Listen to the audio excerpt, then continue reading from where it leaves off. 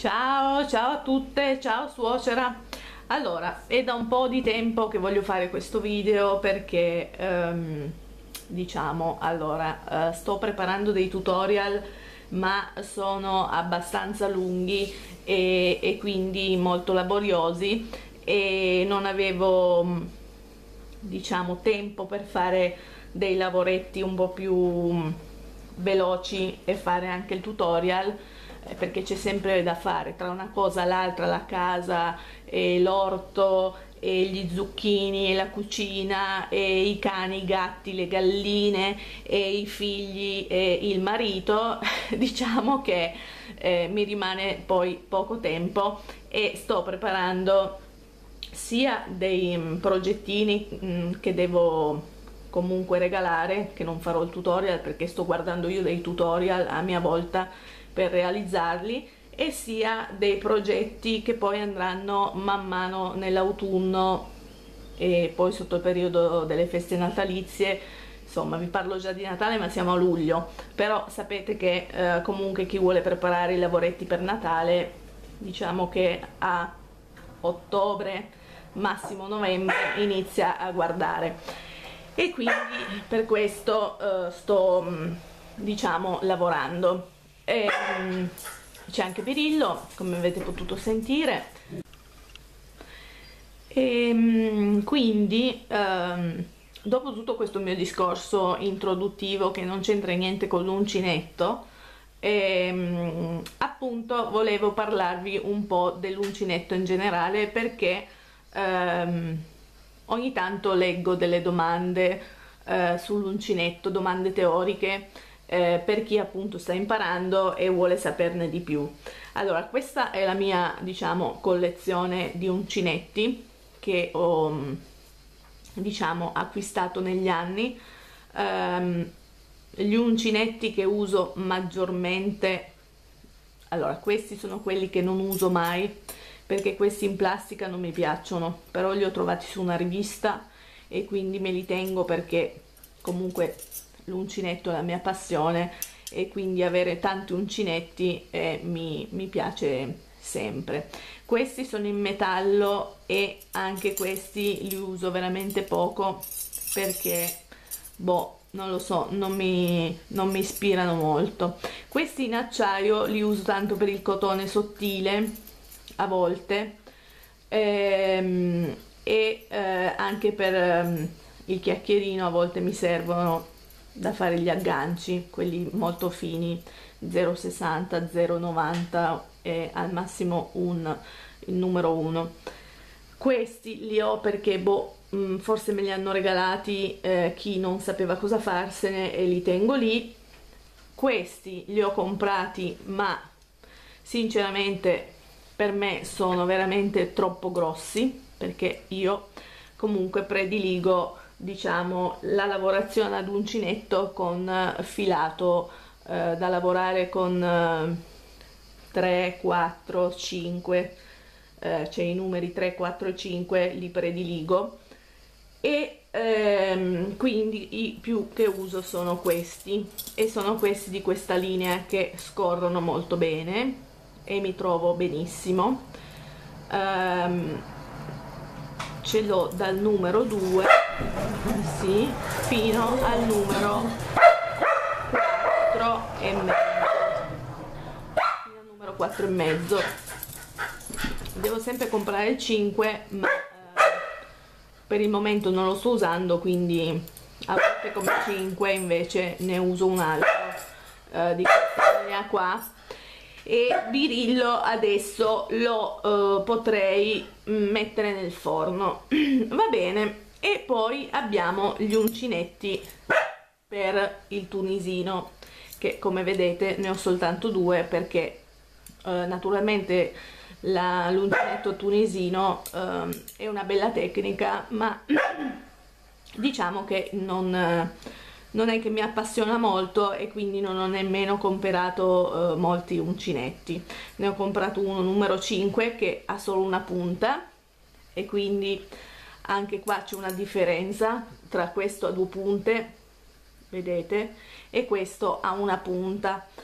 Questo qua è l'uncinetto tunisino a una punta si usa per le lavorazioni diciamo dritte. Mentre questo qua a due punte si può fare la lavorazione um, in tondo cioè circolare e voi direte ma come si fa a fare una lavorazione circolare con una cosa dritta? Ebbene si fa perché diciamo che la lavorazione con l'uncinetto tunisino assomiglia un po' leggermente diciamo a, alla lavorazione ai ferri e quindi anche con i ferri comunque si può fare la lavorazione tubolare non circolare scusate tubolare poi eh, mi sembra di non avere detto eh, nessuna cavolata. Se però eh, avete in merito qualcosa da dire potete scriverlo nei commenti sotto. Ehm, quindi passiamo a diciamo le domande che più frequentemente io eh, ho letto e ho anche risposto a volte ehm, perché comunque chi si avvicina all'uncinetto insomma eh, io quando mi sono avvicinata all'uncinetto l'ho trovata una tecnica molto difficile però non c'erano cioè c'erano i tutorial ma io non ne sapevo l'esistenza e quindi mi sono dovuta arrangiare un po' con le riviste un po' con ehm, diciamo mia suocera e mia mamma e cioè mia suocera e mia mamma eh, diciamo che eh, mi dicevano po' teoricamente come si poteva fare. Poi non ci siamo mai soffermate molto nei discorsi perché ehm, loro non hanno la pazienza e quindi ho preferito arrangiarmi da sola. E mm, però mm, diciamo che chi si avvicina all'uncinetto secondo me innanzitutto dovrebbe eh, provare con uncinetti molto grossi. Allora gli uncinetti grossi che io non uso perché eh, solitamente si usano per le lane grosse o per la fettuccia che io la fettuccia proprio non riesco a sopportarla. E, ehm, però vi consiglio l'uncinetto magari 5 5 e mezzo per poter partire a um, diciamo iniziare a, a, fare le catenelle. Tra l'altro se volete eh, anche sul mio canale c'è un video proprio eh, dove insegno a fare le catenelle e eh, vi racconto tutta la mia vicenda per imparare l'uncinetto. E magari vi lascio il link.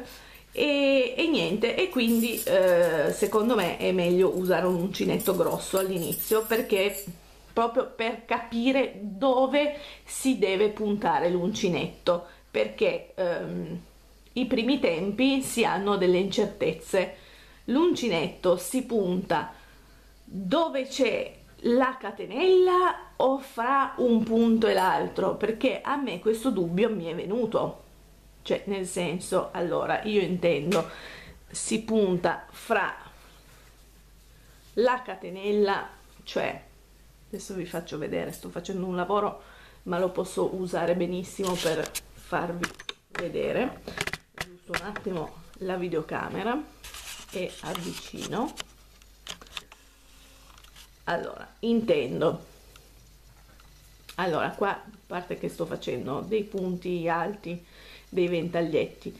Ma a parte ciò no quando uno inizia l'uncinetto il dubbio è sempre ma l'uncinetto si punta qua quindi in mezzo fra le due maglie alte in questo spazio oppure si punta qua nella catenella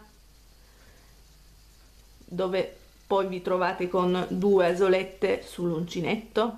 Il posto giusto naturalmente è questo anche se in alcuni lavori si lavora proprio fra i punti. Ma però questo è sempre comunque da vedere nella spiegazione o nello schema che state eh, seguendo.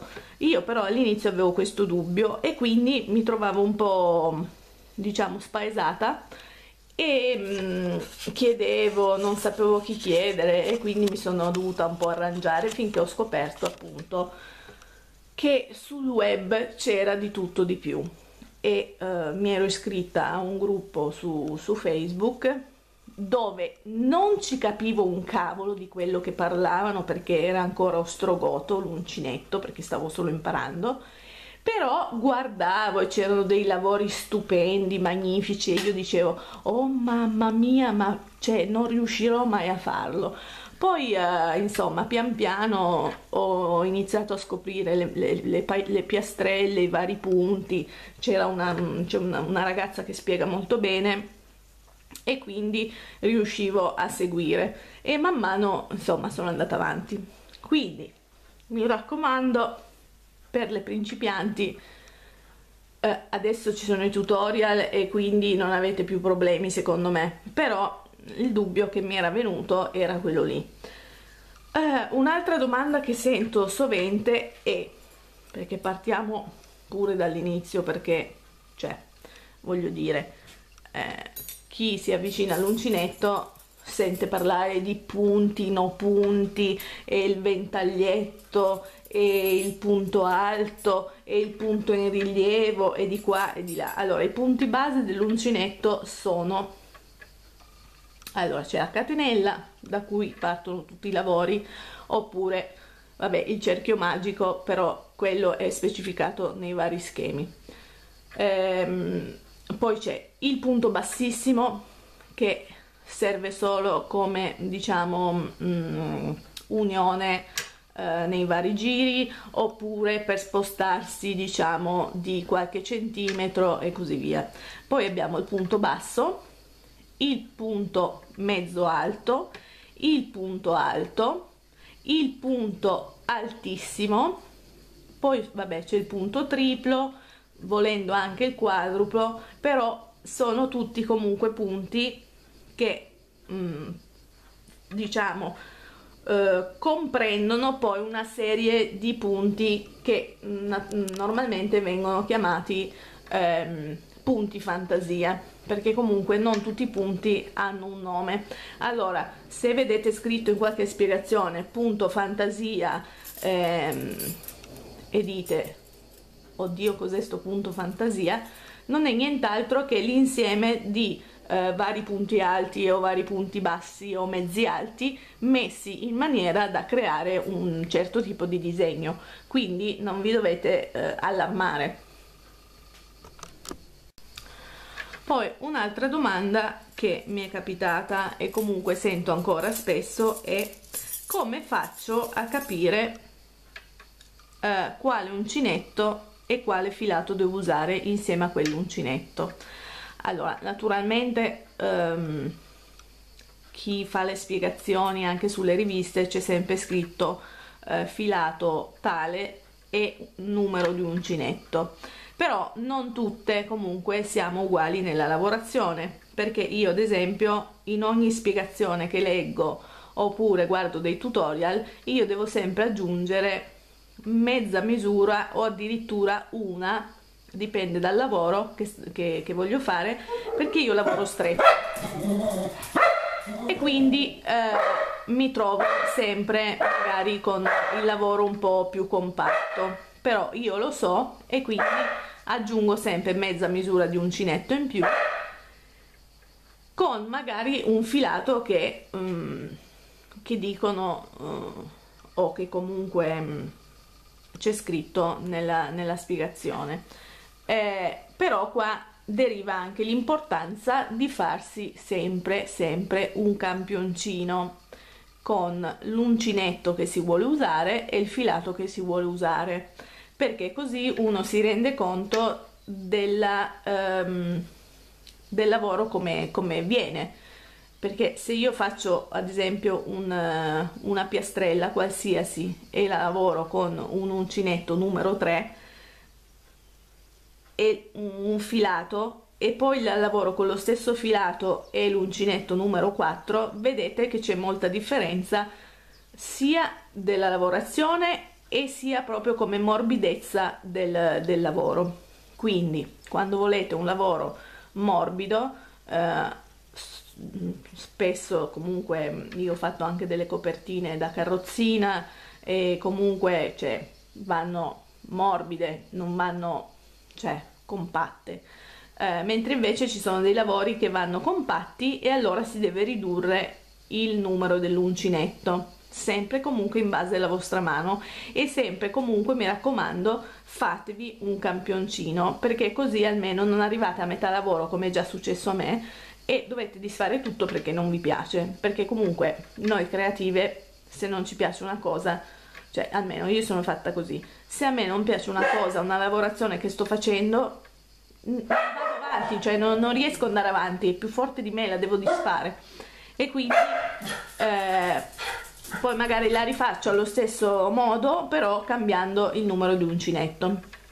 E quindi eh, questo è la risposta che volevo dare a chi mi ha chiesto eh, a chi mi ha fatto questa domanda.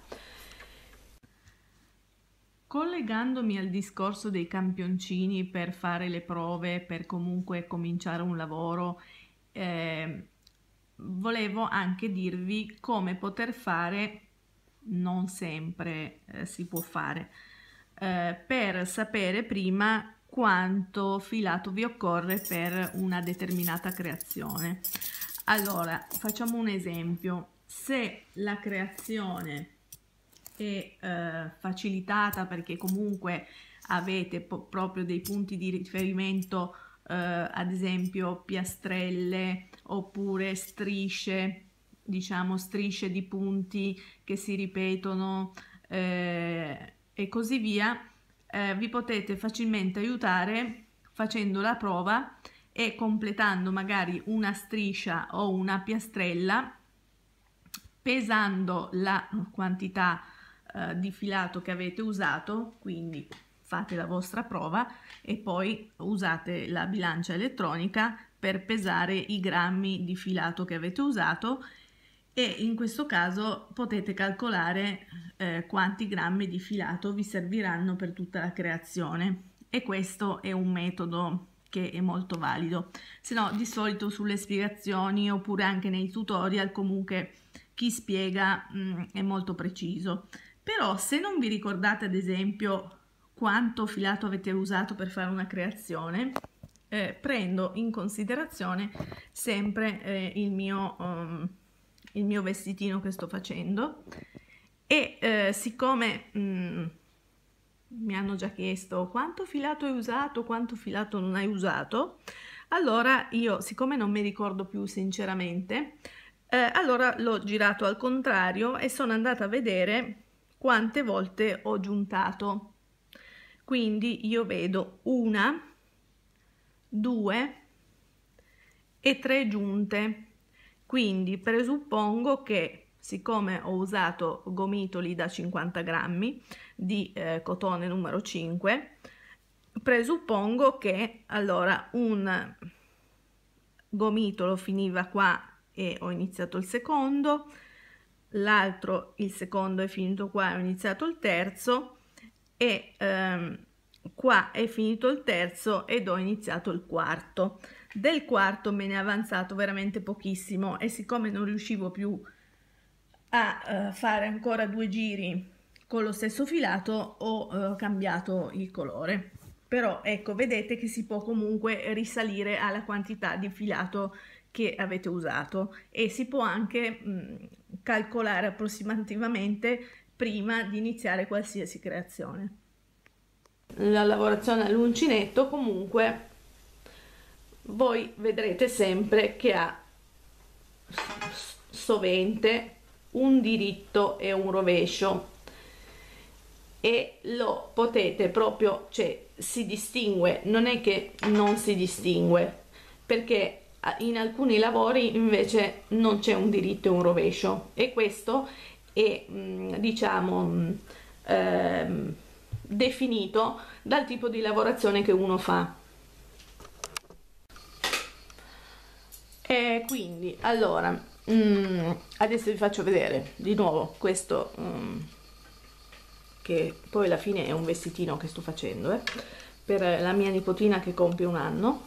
E eh, appunto in questo lavoro, ad esempio, abbiamo sicuramente un diritto che è questo qua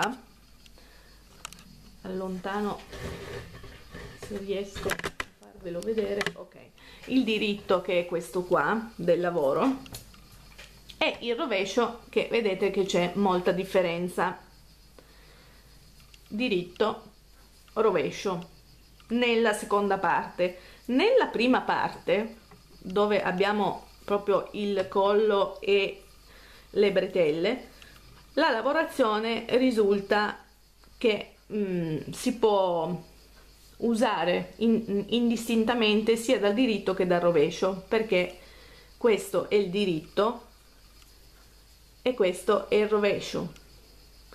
E sono praticamente uguali perché è fatto con righe di andata e ritorno mentre da qua dove finiscono i bottoni il lavoro è stato fatto eh, a cerchio e quindi sempre preso dal dritto quando fate questo tipo di lavorazione a cerchio dovete fare attenzione che eh, a volte quando chiudiamo il giro e magari posiamo il lavoro e poi lo riprendiamo eh, non andiamo a lavorare poi dalla parte inversa perché poi eh, la lavorazione viene diversa. Se dovessi fare questa lavorazione qua che mi sbaglio e invece di prenderla così e lavorare da destra verso sinistra mi sbaglio e la prendo per così e quindi posso lavorare benissimo sempre da destra verso sinistra però poi si vedrà che una parte è da rovescio e un'altra parte dal dritto. E quindi cioè,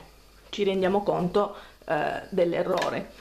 Mentre invece i lavori di solito quelli fatti in righe di andata e ritorno eh, quelli lì si possono guardare sia dal diritto che dal rovescio e sono sempre uguali eh, quindi insomma questa è una um, particolarità che secondo me sull'uncinetto è una particolarità che gli dà tanto ehm, prestigio ma non è la parola esatta prestigio che gli dà tanto ehm, tante possibilità cioè ti dà la possibilità di, di creare comunque e di poter decidere qualsiasi cosa mentre si fa un lavoro. Anche in corso d'opera se uno vuole cambiare fare dei cambiamenti lo può sempre fare. Però questo è un discorso che mm, sicuramente capiranno le veterane dell'uncinetto perché chi si sta avvicinando cioè è un discorso eh, non difficile da capire, però comunque finché l'uncinetto non si pratica certi meccanismi non si riescono a comprendere. E, e quindi sto cercando di farvi tipo una teoria sull'uncinetto eh, perché vedo proprio che eh, ci sono tante principianti che fanno queste domande e mh, mm, sono contenta se comunque riesco a, ad aiutarle a risolvere i, i dubbi.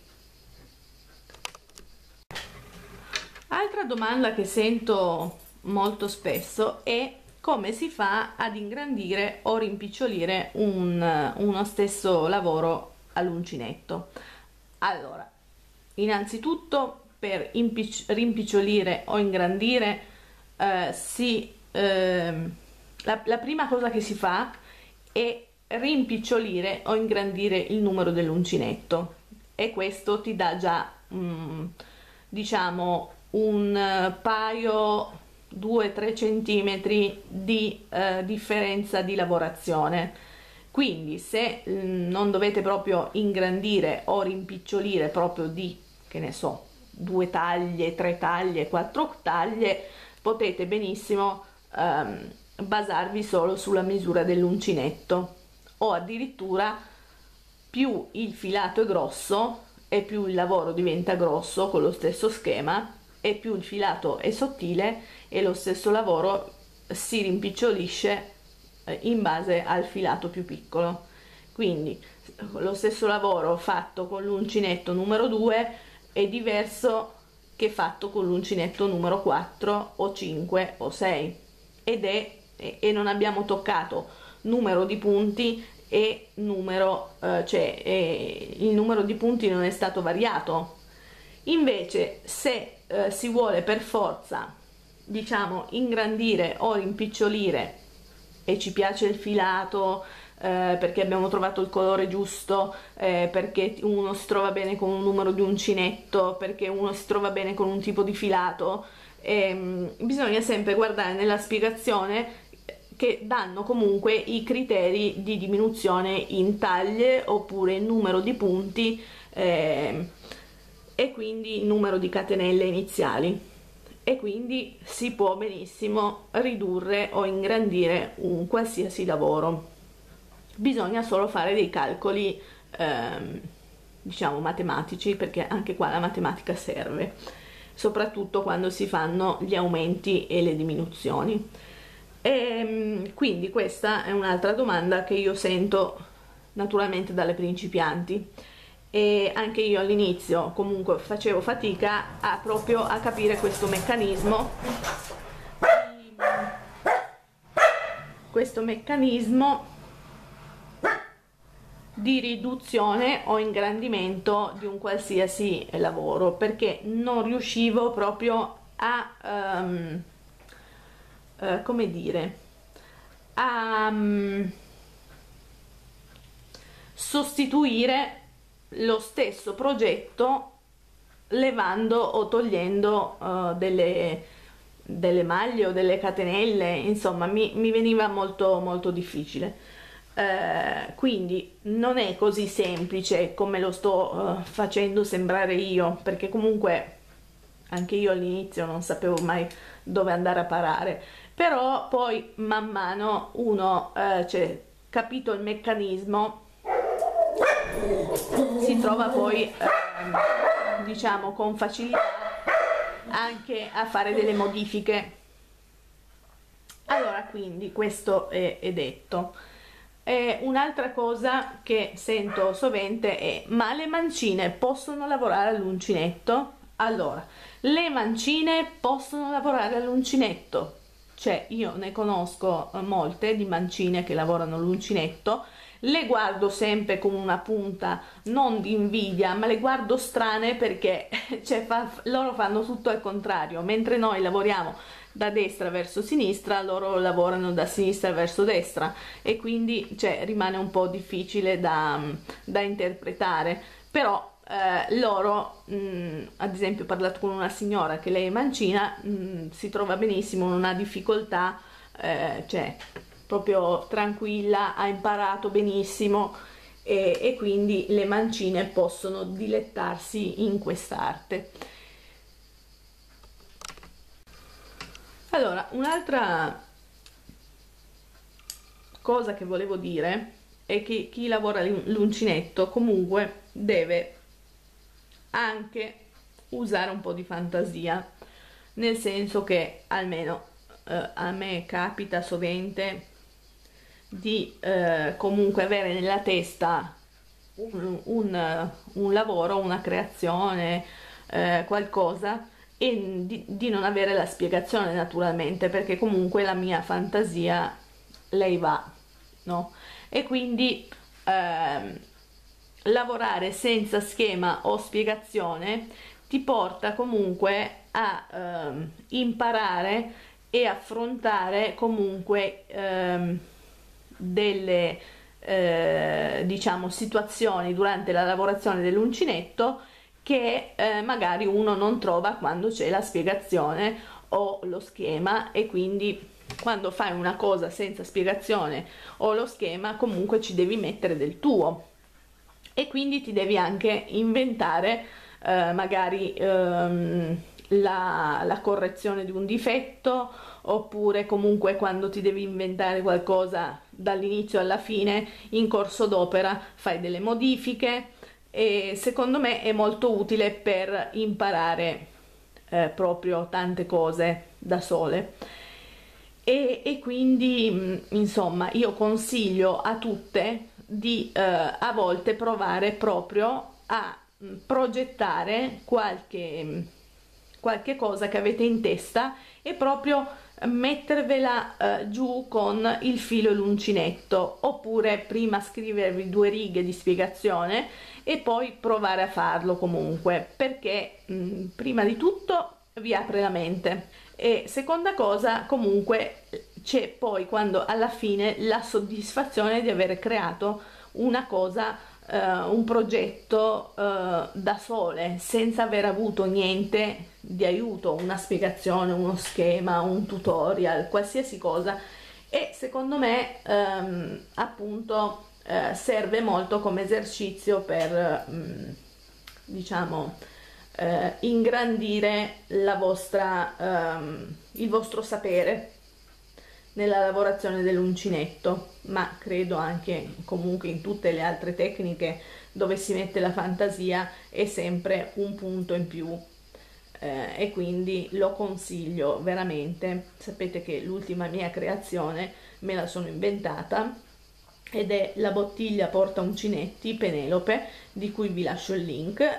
E quindi quella proprio non l'ho vista da nessuna parte. E lì anche in corso d'opera ho dovuto fare delle modifiche, insomma, eh, sì che un, era una lavorazione molto dritta e molto semplice, però comunque eh, sono partita con un'idea e poi sono andata a finire tutta a un'altra. Quindi eh, vedete che mh, mm, si può eh, comunque eh, arrivare a un risultato molto soddisfacente. Un'altra cosa che volevo dirvi è che comunque, anche se tanti anni che fate, eh, che praticate l'uncinetto, eh, non c'entra niente perché eh, io anche sono tanti anni eppure ho sempre qualcosa da imparare. Eh, in questi giorni ho imparato una cosa nuova, che sono le diminuzioni sui punti a rilievo e, e quindi sono stata molto contenta e, e quindi mm, mi raccomando anche quando mi ritrovo ehm, diciamo con le mie amiche creative da Rosanna eh, comunque ci scambiamo le nostre idee, ci scambiamo insomma il nostro sapere perché è molto importante eh, passarsi le informazioni in questa tecnica perché se no uno cioè se no una non ne viene mai a capo. Oppure ehm, la conoscenza um, è bene che si eh, tramandi. Un'altra cosa che è comune di tutte le creative, credo, eh, che non si ha mai solo un lavoro cominciato e non si lavora mai solo su quel lavoro lì. Io, ad esempio, in questo momento ho sette lavori iniziati addirittura addirittura uno ai ferri che poi vi farò vedere perché sarà il mio primo lavoro ufficiale ai ferri perché eh, è, è, una sfida con me stessa. E eh, però all'uncinetto ne ho altri sette iniziati perché mi annoio a fare sempre lo stesso lavoro. E quindi eh, credo che sia una cosa comune a tutte le creative E quindi con tutta questa mia chiacchierata vi saluto, continuate ad iscrivervi al mio canale perché ehm, sto preparando moltissimi lavori e continuate a seguirmi nel gruppo Facebook Creatività e Compagnia e nella mia pagina di cui vi lascio il link e quindi vi auguro a tutte buone vacanze. Ciao, ciao suocera!